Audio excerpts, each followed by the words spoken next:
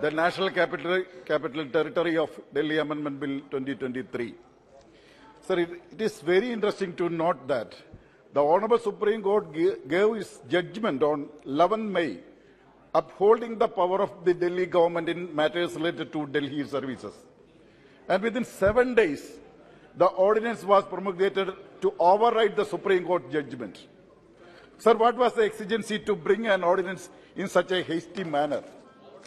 According to Article 123.1, the President can promulgate the ordinance only when the circumstances exist which render it necessary for take immediate action. And the Honorable Supreme Court has pointed out several times that power to promulgate ordinance under Article 123 should be exercised with due diligence and caution. Sir, it shows that the BJP government cannot even wait for a single minute to act upon matters which it considers affecting their supremacy. Sir, by interpreting Article 239 AA, the Honorable Supreme Court made it clear that the Delhi government has power to make laws and administer civil services.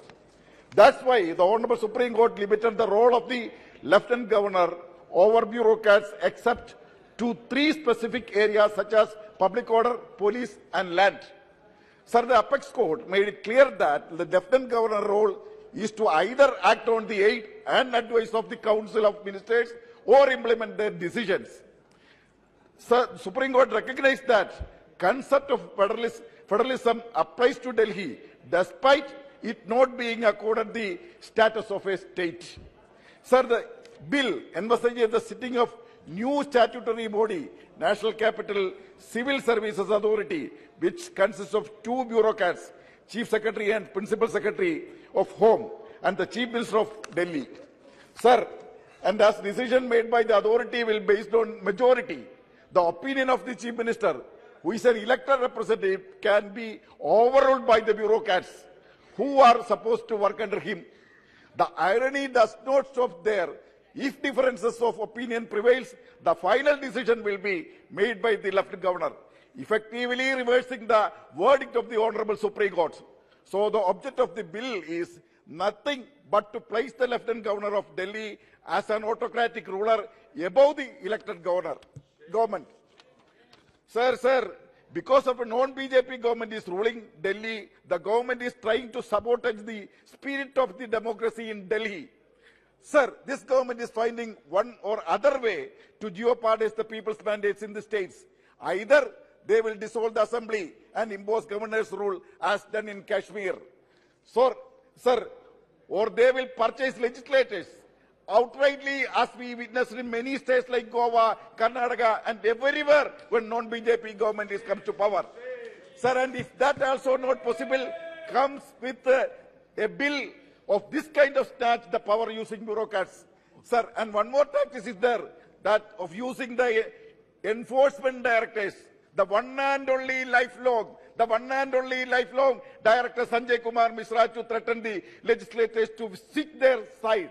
Sir, this government is claiming that Supreme Court judgment has given the power to bring a new legislation, if needed to control the service of the Delhi administration.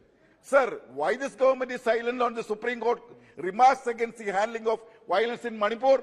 So, sir, sir, even after the Supreme Court indicating that there has been complete breakdown of constitutional machinery in Manipur, the BJP has not changed its chief minister from the post. Why BJP central leaders is silent on Manipur? Sir, it is because they have a clear political agenda in Manipur, which is the agenda of RSS. Sir, we have seen how this government tried to bring BJP to power municipalities in Delhi by merging the four municipal corporations to one by bringing a legislation in this house.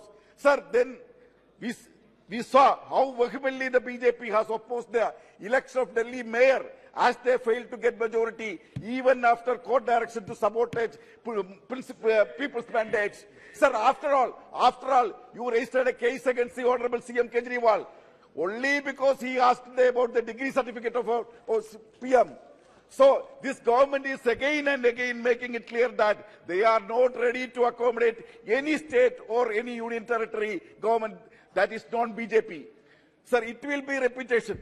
No doubt it will be repetition of what we have seen in Lakshadweep, Kerala, Tamil Nadu and Bengal, where the governors and lieutenant governors are behaving like the puppets No, in the no, hands of the no, Indian government. no, you sir, can't the say like that, no. Sir, sir, sir, one no, more, one more. no. Sir, sir, one, one, minute. No. The Tamil Nadu governor even ordered the removal of a minister of the cabinet.